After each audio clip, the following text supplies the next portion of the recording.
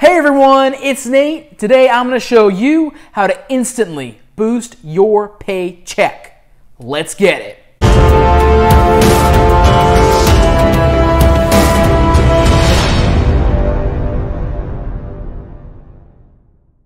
Welcome back everyone. My name is Nate and I'm here to help you master your money. So I've been doing quite a bit of research about something, and that's the fact that a lot of you are getting underpaid and you don't even know it. It's ridiculous. So today I'm going to show you four ways you can instantly boost your salary. So like I mentioned a second ago, a lot of you are getting underpaid, and there's a reason for that. And one of the more common reasons why you're getting underpaid where you're at is because you've been there a long time. Now, I know that this goes against what the old adage was that if you stay at one place for a long time, you work your way up and you can make a lot of cash that way. Well, in some cases, that is true, but that is not the norm anymore. In fact, it is quite the opposite. When you stay at a place long term, on average, they're going to give you about a 3% raise every year to cover cost of living increases. But with the trick that I'm going to show you, you can actually increase that amount to 10, 20, 30%, or even higher. So I'm to get right to it and start out with the list of things that you can do to increase your salary. I'm to start out with the things that have the lowest impact, and I'm to move down to the things that have the highest impact. So step one, this is going to be the easiest, simplest, and least risky way to increase your salary, and that is simply to ask for an increase in your salary. If you go to your boss and you communicate all the ways that you bring value to the company, that you are an asset to the team, and you just hold it all down in your sector, and even go above and beyond what you're supposed to do to help things out, well, in this case, you have a pretty good chance of your boss saying yes to a raise. Now, depending on where you're at, this could be handled a few different ways. This could be handled by giving you maybe an extra dollar per hour raise, or an extra percent or two, or whatever variant of those things.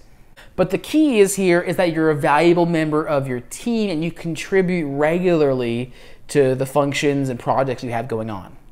So step two is going to take a little bit longer than just an instant, but this one can have a significant impact on your career. This is going to be to get a professional certification or certificate. So depending on the field you're in, this could be a couple different things.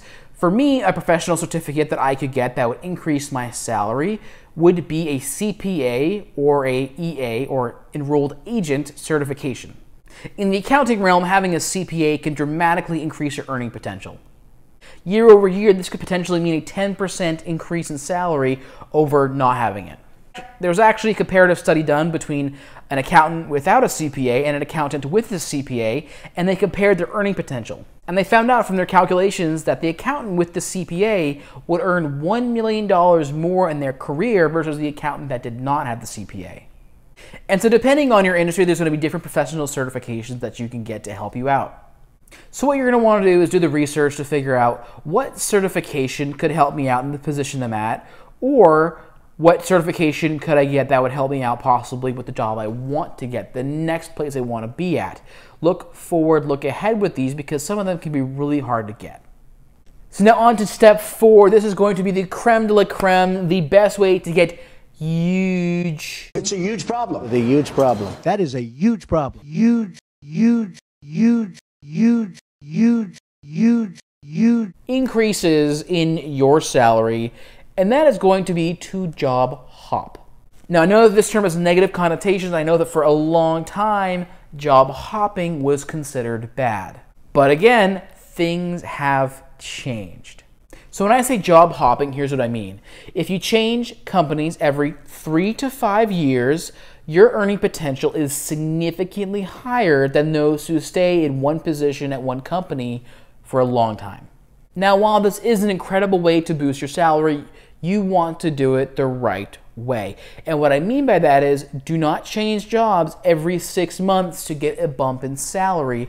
Pretty soon, after like a couple times, like two or three times, it won't take long. Employers will stop considering your resume because it looks like you're flaky, you don't stick around a long time, and they want people that'll stick around for at least a few years.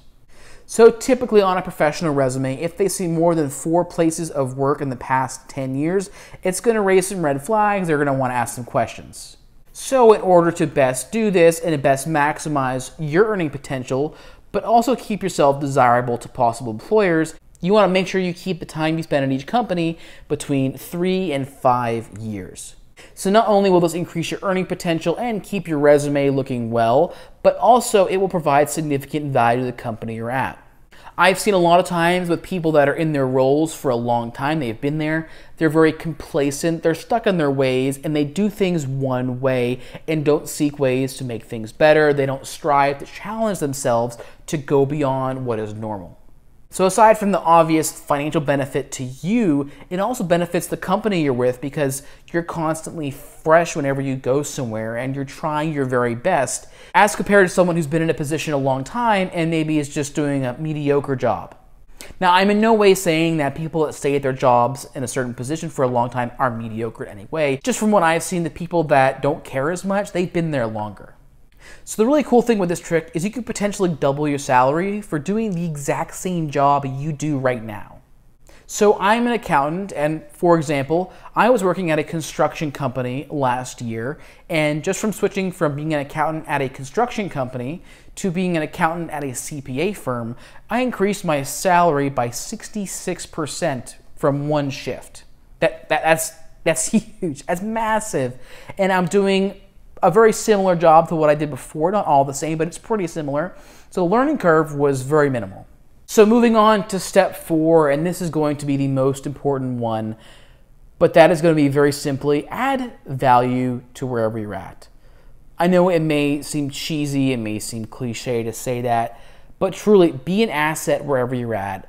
Help out wherever you can. Always see ways to innovate and bring these ideas to your management. It may mean extra work for you in the short term, but big picture, looking at long term things, when recessions happen and when budgets are slashed and when people are laid off, the people that are going to be the last ones to be laid off are going to be the ones that are the biggest assets to the team. So if you make yourself very valuable to a company, not only will you have a decent raise every year or so, but you'll also have job security. And job security, I think, at least for me, is one of the most important things about any place you could possibly work at. So with that being said, guys, I hope you enjoyed this video today. I hope it provided value for you and helped open your eyes to the possibilities that are out there and the little things that you can do to boost your salary. My name is Nate, and I'm a redhead, and I had a fun time doing this. And I will see you next week. Bye.